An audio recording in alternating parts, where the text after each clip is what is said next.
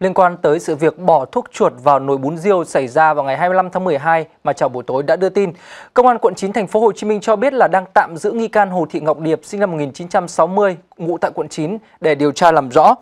Tại cơ quan công an thì nghi can Hồ Thị Ngọc Điệp đã thừa nhận hành vi bỏ thuốc diệt chuột vào nồi bún riêu của chị Tuyết, nguyên nhân xuất phát từ mâu thuẫn trong tranh chấp đất đai giữa hai người. Theo thông tin từ công an quận 9 thì kết quả hai mẫu nước lèo trong nồi bún riêu mang đi xét nghiệm đều cho thấy là chứa thuốc diệt chuột là chất độc chất độc thuộc nhóm 1 gây nguy hiểm cho con người cũng như là gia súc khi sử dụng.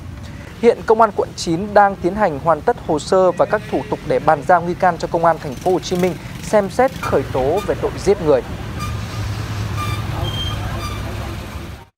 Các luật sư cho rằng hành vi của bà Điệp bỏ thuốc diệt chuột, một loại thuốc độc có thể gây chết người vào nồi bún riêu thì có dấu hiệu là cấu thành tội phạm mà tội là giết người và vụ việc thì chưa gây hậu quả vì có người đã phát hiện chỉ là ngoài ý muốn của bà Điệp. Bởi vì vậy nếu như mà bị kết luận là có hành vi giết người thì bà Điệp có thể sẽ phải ngồi tù. À, như trường hợp của một người đàn ông ở tỉnh Phú Thọ đã phải lĩnh án 12 năm tù vì bỏ thuốc diệt cỏ vào bể nước của công ty cũ chỉ vì sau khi xin người yêu vào làm cùng công ty thì anh này đã bị cô gái phụ tình để yêu người bạn thân của chính mình. Vâng, không biết là khi mà cầm thuốc diệt chuột rồi đổ vào trong cái nồi bún riêu của chị Tuyết như thế thì bà Điệp có nghĩ tới cái hậu quả này hay không? Và một khi đã vào tù rồi thì chúng ta đều biết rằng là một ngày ở trong tù thì bằng ngàn thu ở ngoài. Thế nên mới có chuyện là không ít các tù nhân mới tìm mọi cách để có thể vượt ngục